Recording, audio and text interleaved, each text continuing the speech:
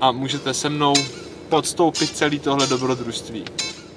Teda, jestli do té doby stihnu věc v podzemních garáží, než tady umřu, ale když si na to video koukáte, tak jsem pravděpodobně neumřel, sestříhal jsem to a tady je. Svítí sluníčko, takže je čas nakupovat.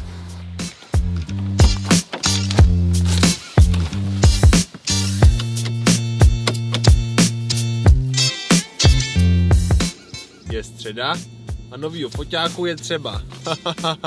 to byl joke. Tak jo. Takže vyrážíme do mostu, kam si jedu vyzvednout nový foťák.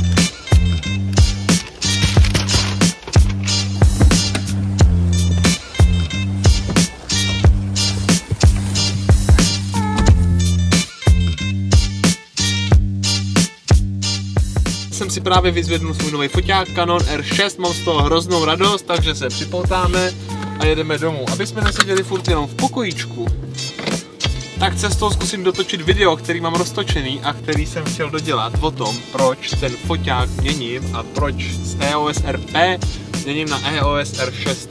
Bezrcadlovka za bezrcadlovku. Oh, to to teda dlouho nevydrželo. Mimochodem rychlá vsuvka, pokud nahráváte audio pomocí externího mikrofonu, který je kapacitní nebo asi jakýkoliv jiný, a máte vedle položený telefon, tak tam budete mít tenhle hloupý zvuk. Bohužel už se mi to video nechce do mostu přetáčet, takže to musíte vydržet s tím zvukem, ale velký ponaučení pro příště. Úplně stačí v tom telefonu zapnout režim letadlo, tak aby přestal přijímat signál. Sice se vám nedovolá máma, ale můžete být úplně v klidu, že můžete mít foťák, teda telefon vedle kamery, foťáku, cokoliv a nebudete tam mít tady ty hloupý zvuky. Pokračujeme. Uhu, a mám radost, protože se oficiálně stávám fotografem. Fake it until you make it, čili budu zkrátka fotit, bavit se tím, bavit tím lidi kolem sebe, dokud se vážně nestanu fotografem. Mimochodem zajímavá teorie, která říká, že jste to, co děláte. Jestli chcete být spisovatel, musíte psát, nemusíte psát knížky, ale už jenom to, že píšete. Když napíšete čtyři stránky textu denně, tak prostě jste spisovatel. A dřív nebo později budete dobrý spisovatel, protože zkrátka píšete. U mě chci být dobrý fotograf, takže budu fotograf, budu fotit, budu běhat po světě, koukat na svět přes foťák.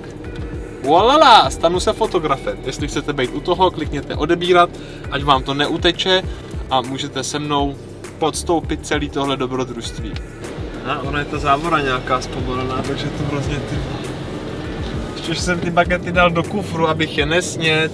Takže jsem se zkrátka rozhodl co nejdřív, co nejmladší tenhle foťák, to RPčko prodat, tak abych si mohl koupit vlastně už jsem si koupil R6, ale nedal jsem za ní takový peníze, zkrátka jsem udělal na začátku špatný rozhodnutí, teďko nevyměním, a je to win-win. Někomu pomůžu tím, že koupí daleko levnějíc nový RPčko s plnou zárukou a zároveň já budu mít radost, protože budu mít foťák, který plně pokryje moje potřeby a to, co umím a zároveň na kterém se budu moct učit další a další věci. Chtěl jsem vám natočit unboxing Canonu R6. Vážně jsem chtěl, ale přišel jsem domů, položil jsem ho na gauč a než jsem si umyl ruce, tohle se stalo fakt nechápu, kdo to udělal, ale někdo ho tady takhle rozházel, vybalil, zjistil, že je vybitá baterka. Původně jsem chtěl udělat nějaký prima unboxing, ale vzhledem k tomu, že všichni víme, co je v krabici, protože se to dočteme na stránkách výrobce, tak za mě nemělo úplně cenu rozbalovat krabici a vytahovat z ní foťák, šňůrku na foťák, nabíječku a akumulátor.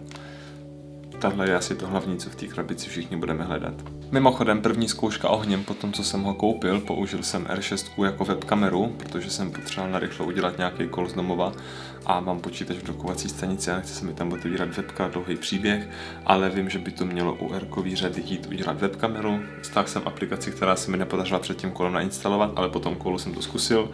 Úplně jednoduchý, nainstalujete aplikaci, připojíte z USB-C do USB-C a voilà, máte webkameru. Nemusíte nic nastavovat, počítač rovnou zná nebo chápe, že je ten foťák webkamera, namíříte ho na sebe, už ještě, když chcete být úplně fancy, tak otočíte ten display a webkamerujete. Takže máte na webce záběr, jako mám třeba teď já tady za sebou, když sedím normálně nebo stojím u počítače a něco si na něm dělám. A to je fakt skvělá věc.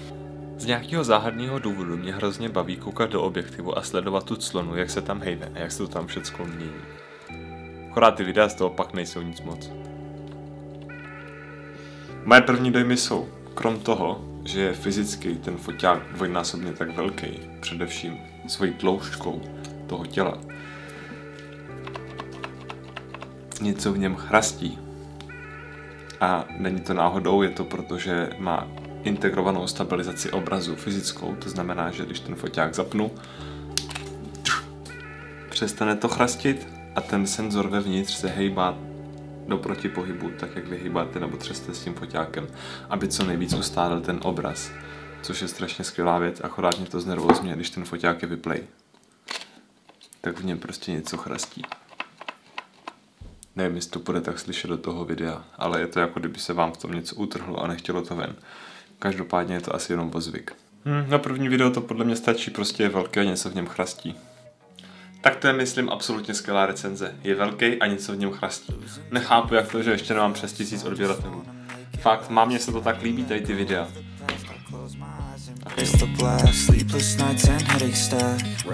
Přemýšlím, jak dlouho na vás budu muset smutně koukat, abyste klikli na to tlačítko odebírat. Miláčku, nezvíte jakoby zoufale, že chcete odběratele už hodně?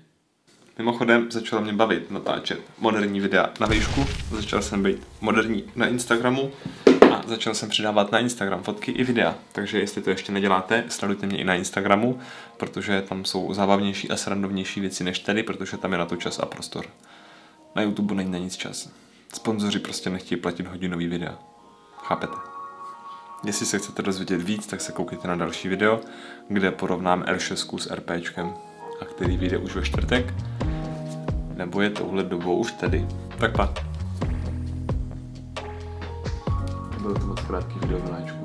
Určitě bude zajímavý sledovat tenhle vývoj, jestli nechcete, aby vám to uteklo, chcete vidět nějaký super skvělý fotky, chcete se dozvědět něco o fotografování, natáčení videí o životě. Zatím toho vím dost jenom o tom posledním, ale i tak si netrochu říct, že toho vím hodně. Ale jestli chcete být u té pouti, u toho dobrodružství, který tady hodlám podniknout a dokumentovat ho na YouTube. Určitě klikněte na tlačítko odebírat, už vás nebudu dál zdržovat. Čau.